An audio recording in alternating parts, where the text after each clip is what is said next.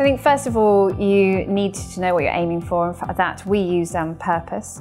Um, and you really need to embed that across your, your business, which means people are really important, we all know that. Um, but actually having them understand that completely across the business, at each point in the business, what does that, that purpose mean for them? And then when it comes to actually inventing things and looking at new things, um, you can pull in all those people. They know what that's for. They're, they've been allowed to be autonomous and they're empowered and they bring themselves to work, not have to try and be someone else.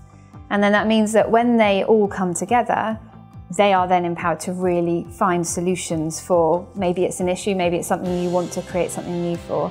Um, and we've done that in a variety of ways. If we look at Virgin Australia, they quite literally pretty much got a warehouse and, and everyone was pulled in from across the business um, in order to look at different um, pain points and different bits across the business to make sure that they were solving issues.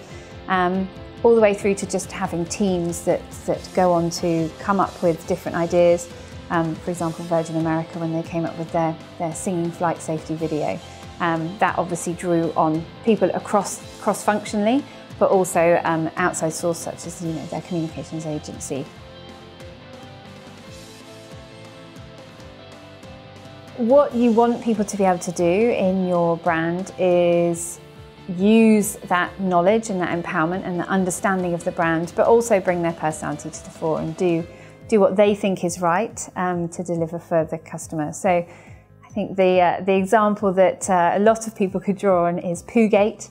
Um, we had a, a, a, person on a Virgin train and he was in the toilet and unfortunately there was no toilet paper for him, which he needed at that point. And he tweeted out to say, ah, on a Virgin train, uh, no toilet roll. Um, and of course, with social media monitoring, our social media um, editors picked that up and responded asking which train carriage he was in, which train he was on. And uh, Julie got in touch with the train manager and delivered him some toilet roll so that he could uh, finish his business in peace. Um, but you need to have a brand where you are empowered to respond to that and actually make a decision to do it. If you had to go and speak to your manager, it would have been too late. So yeah, absolutely. Autonomy, empowerment, and understanding what your brand is about means that your people can deliver it every time.